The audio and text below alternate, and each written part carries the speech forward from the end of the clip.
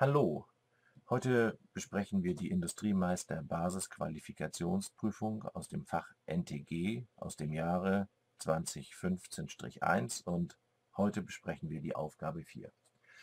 Bei der Aufgabe 4 geht es um einen Zugstab und auch hier mache ich mir sofort eine kleine Skizze, die den Sachverhalt widerspiegelt. Bei dem Zugstab handelt es sich um ein Gebilde, das etwa so aussieht.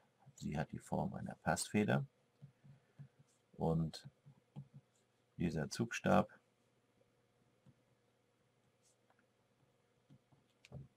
ist gekennzeichnet durch die Größen B für die Länge im Rechtwe äh, für die Länge im rechteckigen Teil. Naja, und für die Höhe soll es ebenfalls B sein. Und das Gebilde sieht dann irgendwie so aus.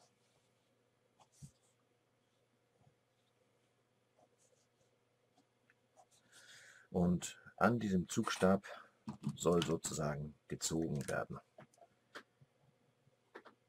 An dieser Stelle wirkt eine Kraft von F gleich 120 Kilonewton.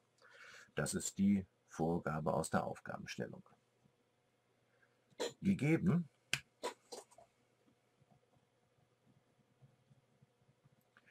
ist die Streckgrenze. RE gleich 2,25 Newton pro Millimeter Quadrat. Weiter ist gefordert, dass Sigma zulässig ein halb RE ist. Und das wären dann